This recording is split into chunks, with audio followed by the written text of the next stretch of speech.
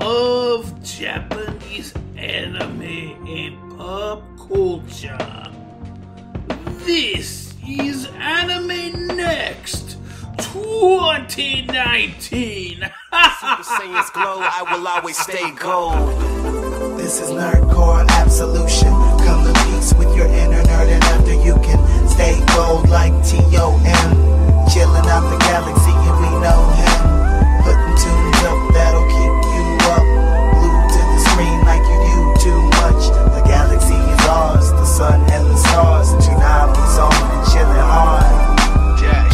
Watching closely from a perch among the stars as viewers await the moment when the spirit bomb can charge.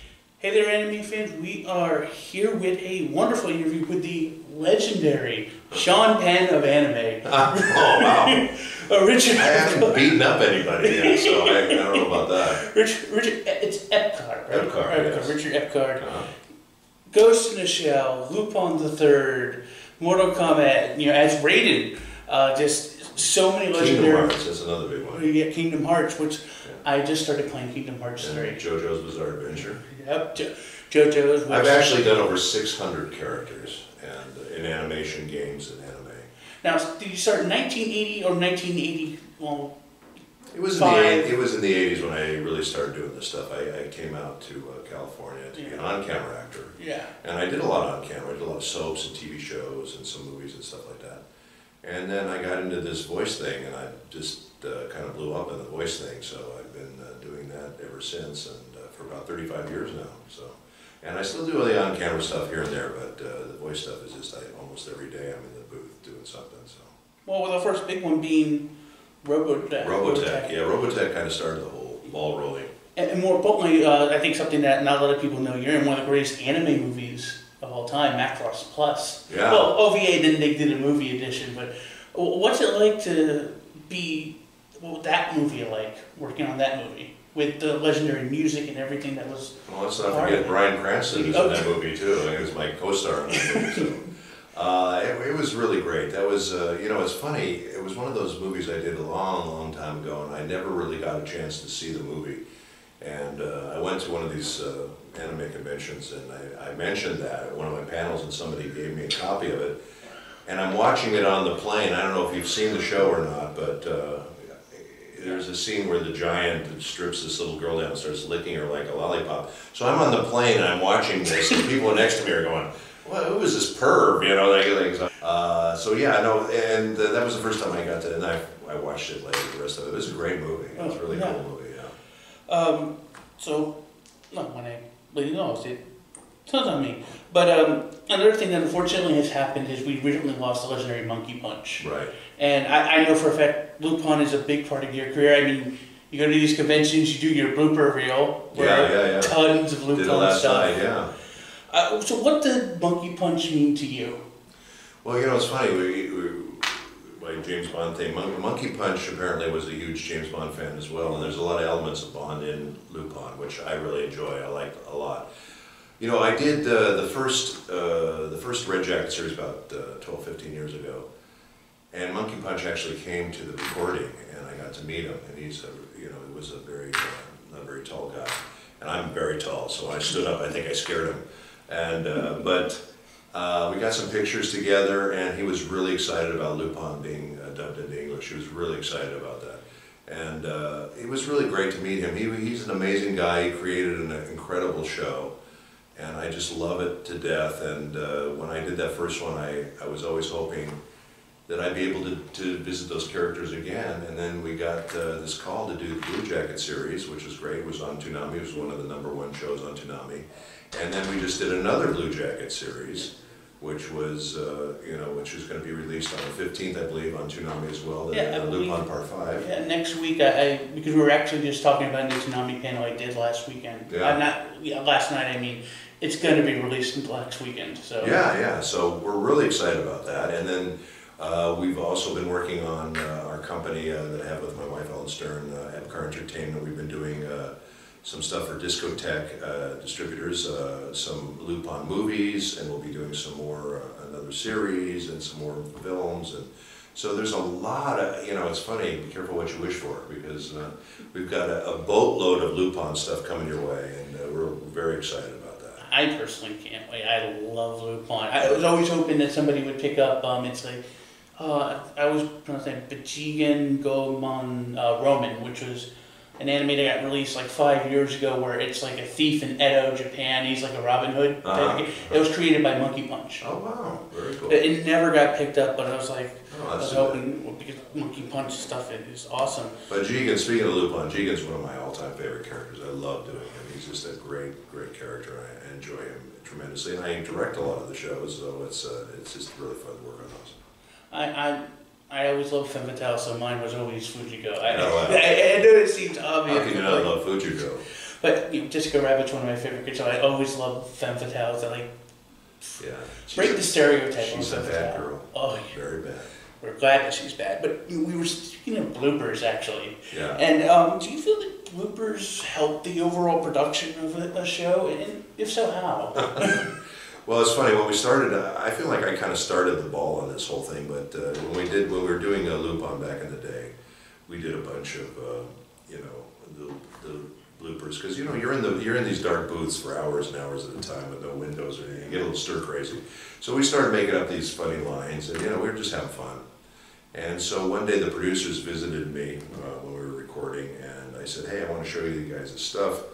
And I thought they'll either laugh or they'll fire me, you know. So uh, thankfully they laughed. But the, the problem was they liked it so much they wanted me to keep doing it and create, you know, uh, ten or twenty uh, outtakes for every single episode. And I said, "Well, is this something you're going to pay me for?" And they said, "No, we want you to do it." And I said, "Okay." So I, I talked myself into getting more work. Actually, is what I did. But uh, it was a lot of fun. We had a lot of fun doing it. They should pay you. Uh, like I remember, because I've been going to cons like for over ten years now, and when I started, I was going to MetroCon when the people at ADV brought out Lake Takahana Gamera, Yeah. where they did the whole get everyone like other nothing but pizza and beer and like redneck voices. Right. Which, if you ever get to see that, it is the most amazing thing ever.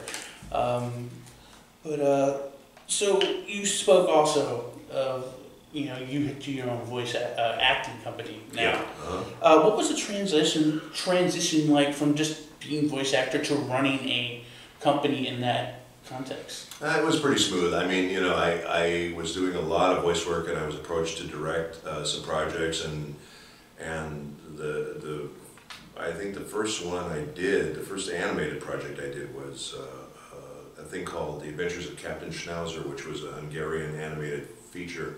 And it was really cute. Nobody wanted to do it because it was long and very talky, and the translation was all about the economic situation of Hungary, which kids would eat up with a spoon, I'm sure.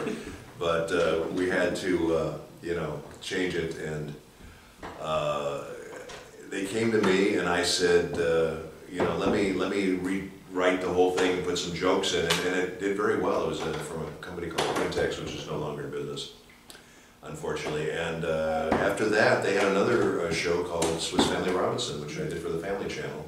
And then after that, I started getting all kinds of live action uh, Academy Award winning films like Cinema Paradiso, Belle Epoque, Eat, Drink, Man, Woman, all these movies. So I, we, were, we were doing all kinds of stuff. So we, we almost needed to put together a company to kind of handle all this stuff. So that's what we did. My wife and I put together Epcar Entertainment Incorporated. And we do a lot of stuff, and we do games, we do animation, we do anime, we do. We're starting a whole batch of uh, live action films we're going to be doing. So there's a lot of stuff going on. It's just it's gotten as as I've gone through this this uh, business, I'm, I'm getting busier and busier every year, which is kind of funny. You know, instead of slowing down, it's getting crazy busy every year. It gets more busy. So Well, thank you for spending some time for us. My pleasure. So, uh, everybody thanks Sean. Uh, I, I was about to call you Sean Penn.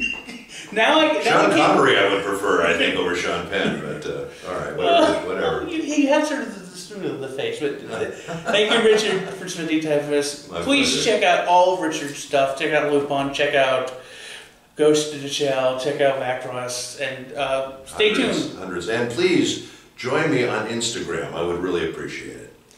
And I'll put that the Instagram at the bottom here. Okay. So, thank you, anime fans, and stay tuned for the next interview. Yes.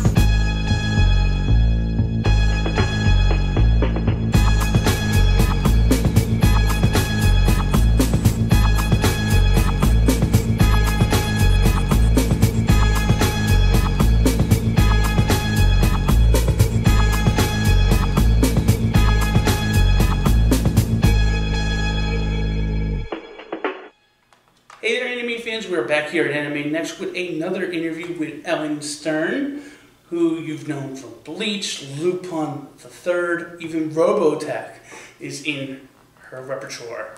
So thank you for being here to Anime Next. You're so welcome, and it's my pleasure to be here. I'm delighted. And of course, you're uh, the wife of Richard Epcar, which, you know, if you are at Anime Next and has a guy that all over. But it, you know, it, it's very interesting. Uh, both of you got to work on Lupin the Third, the, the Blue Jacket, the fourth season, which, as we were talking earlier, was number one on Toonami, which made me so happy as somebody said, Toonami needs to have this. But unfortunately, we also recently lost uh, Monkey Punch this past year. I know, I know. I'm so, so sorry. So, What a loss. what did Monkey Punch mean to you? Because uh, I think your main role with Lupin has been the more recent series. Uh, no, actually, I I did uh, roles throughout Lupin Okay. the Third, but uh, this the Blue Jacket series, I I did quite a few roles on it, and I was Elena Gotti, I was Nora Anita, I was Mama, I was Josephine, I was I was a lot of things.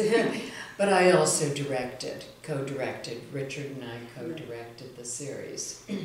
and you asked me about Monkey Punch. Uh, Monkey Punch was an artist of immeasurable talent. And while I never had the chance to meet him, I, Richard did meet him once. But uh, I wish I had. But he's left us with a legacy, hasn't he? Yes, yes. I, I got to meet him once, over ten years ago at down in Tampa at MetroCon, and he's such a nice guy. Like, he's really one of those artists that seem like he really loves what his work has done to touch. A lot of integrity. Yeah. A lot of integrity and passion. And within Lupin, I, and I didn't make the mention that you didn't do other role, but I, I think probably the biggest role you've ever done is Elena, which is such a unique character. How fun was it to play? her? I thought Nora Anita was pretty big also. I mean, as a matter of fact, Nora Anita was, uh, I think, the role that touched people the most. Oh. Because, do you remember her? Uh, oh, She was the woman who was in love with her husband. Yes. And they were together till the end. yeah, together till the end, yes. Uh, that And was a people very. wept. Yeah. And they said that that was the most emotional episode of all the Lupin the Thirds. And uh, so that moves me because if you like what I've done, I'm so pleased. Oh, absolutely. That was a tremendous episode. As I'm thinking back to it, I, I'm trying to think because I actually haven't seen it since it debuted on Toonami. But like I was watching like the subs leading up to it, finally getting the dub and stuff. Uh, but you're absolutely right. That was a very impactful episode. Um, and of course, you've also been acting for a long time. Uh, I read in the bio. started when I was 12 years old. And do you think that starting so young had an impact on how you were able to continue your career going forward? Well, I think your passion is the thing that drives you towards your goals. And my passion drove me. At 12 years old, I fell in love with Shakespeare and, and the Greek tragedies. And I used to have fights with my mother, and I'd run into the bathroom, lock it so she couldn't get at me. And I'd read to the mirror, you know, Romeo, Romeo, wherefore art thou? You know, I was, I was awful, but I was 12 and I was passionate. Yeah. And then I'd read Medea. I, um, I'd read, that was Euripides' play. And, and, but, but my love of the written word, my love of, you know, the best, the very best of the written word is the thing that drove me in my writing and my acting. and as a voice as a voice artist, as a voice actress, and as a director, it all informs. And of course, you've also now been able to take that with Richard to do your own voice acting company. With uh, as as I was talking with Richard yesterday, you have so many mm-hmm. things lined up. We have a lot, Yeah. yeah. What was like the transition like from going just to being a voice actor who's being hired to do voices mm. to now running a company that's now hiring other mm-hmm. voice actors? Well, I started doing films and television when I was 18. And, and I was always doing uh, stage also. Excuse me, my allergies. Oh, it's Um, all right. Anyhow, uh, We call that the Marco Rubio. Anyhow, I was doing this one film. It was a western, and we were in Utah. And the casting director asked me if I would like to do some voice work, and I said sure. And then later I said, "Oh, could I bring my boyfriend along?" And he said, "Yeah, sure. There's roles for men." I did all the women's roles in this one film, which was tremendously fun for me because I got to change up my voice, which has always been very easy for me. and Richard got the male lead. so um, that was the beginning. So I brought Richard into voice work. And then it just evolved, and we kept doing project after project. And I said, we need to form our own company because we were acting, we were directing, we were writing, and we were working for other people. so I said, we have to form our own company and do our own projects. that was a driving force for me. So that's how that evolved. Now, another thing that Richard is known for is the bloopers. I, I, was, I was joking with him yesterday. It's like, it's sort of uh, a business thing that he does in a way. Like every time I go to a con, his panel is always on bloopers. Uh, do you feel that bloopers, um, at least I feel that bloopers can help cause a cast to grow because it lets their hair down and, and can like, oh, we all make mistakes and it can bring them together. What are your feelings generally on bloopers? Well, they're intentional. they're not mistakes. Um, we do it because we know that it, it breaks up the levity. You know, it gives some levity to the session. I mean, you're in the booth, you're working by yourself, and if something occurs to you, you just throw it out. And, you know, we all get a laugh. So they're not mistakes, they're intentional except if you forget what you're doing, then you go, uh, don't blah, blah, blah, blah, blah, blah. And um, then, then that's, that's, you know, of course, a mistake. But if you, if you, if you, if you don't, if you don't hit the sync, if you don't hit the word, but uh, generally they're intentional. What is your favorite type of word that you like to see? Um, my own. Well, if it is, they're like. I get, I get, I get a. It's it's fun. I'm I'm not as attached to the bloopers. I've seen them a million times. I'm throughout all the bloopers, Mhm. but I love the work. You know, and they're funny. But once you've laughed a few times, then you know the work is is very significant. like with Lupin the Third. Yeah. We did not have a chance to do that many bloopers. we didn't have time. I'll tell you the story of Lupin the Third. Yeah. We got the project, we were asked to do it, and of course, it had been 12 years since we had done the last Mhm. one. and so we said, yes, we want to do it. we had three and a half weeks to do 26 episodes. Richard was in one studio directing, I was in the other studio directing. We worked from 9 in the morning till 11 at night, every single day, no days off.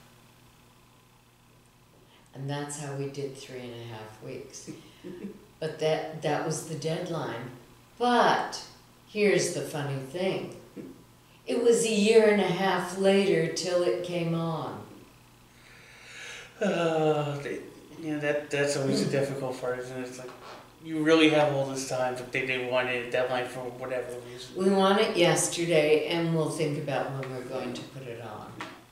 That, that production was, I've heard a lot of those, I, I just recently graduated, uh, from TCNJ with a degree in communication, television, and movies. Oh, congratulations. Yeah, and we heard so many of those type of stories from like people who are doing production assistants and producing who had came in to speak to us. There's so many stories like that. Like they have this deadline, but it doesn't get shown for like five years later or something like that. So Well, but when you're dealing with major people, yeah, it's, you, you expect more.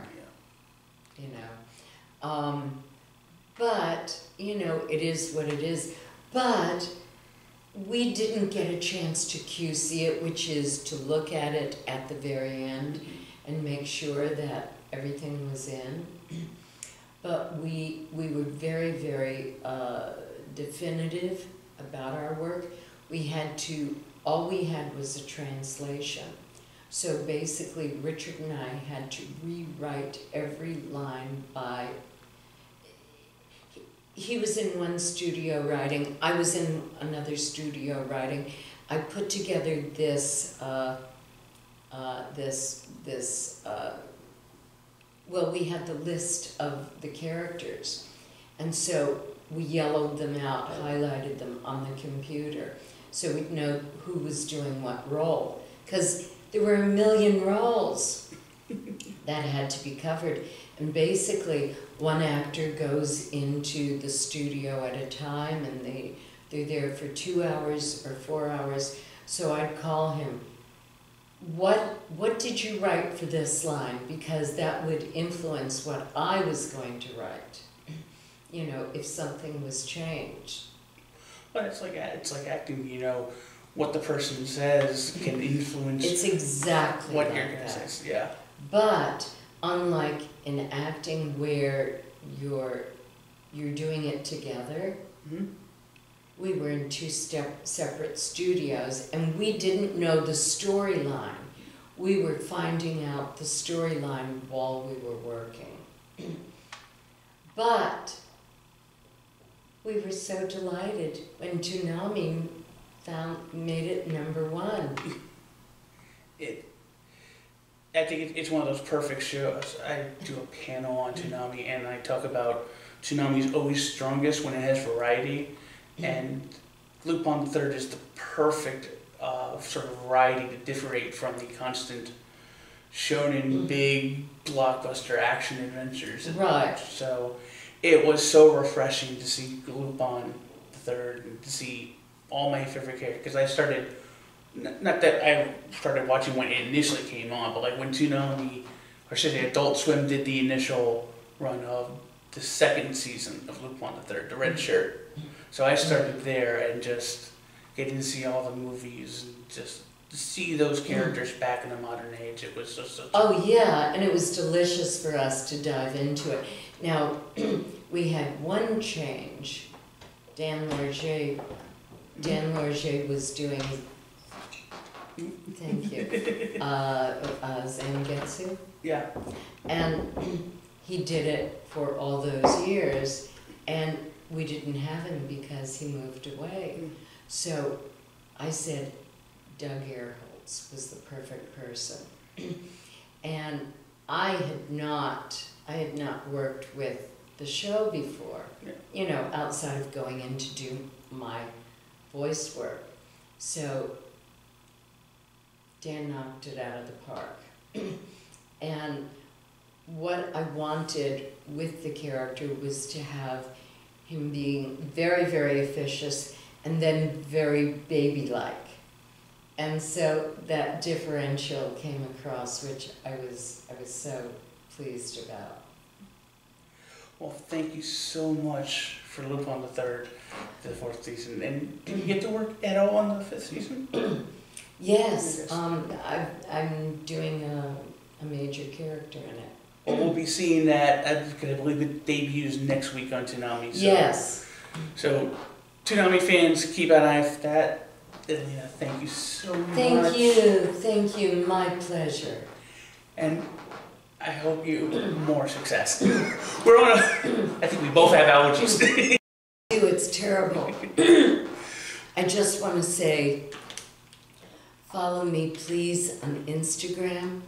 I, I'm producing uh, a sitcom that Richard and I, Stephen Tobolowsky and Reeve Carney are starring in. It's very, very funny, so please stay tuned. I wrote the script, I created it, and um, so please follow us. Thank you. And thank you, Toonami fans, and stay tuned for more from AnimeNEXT 2019.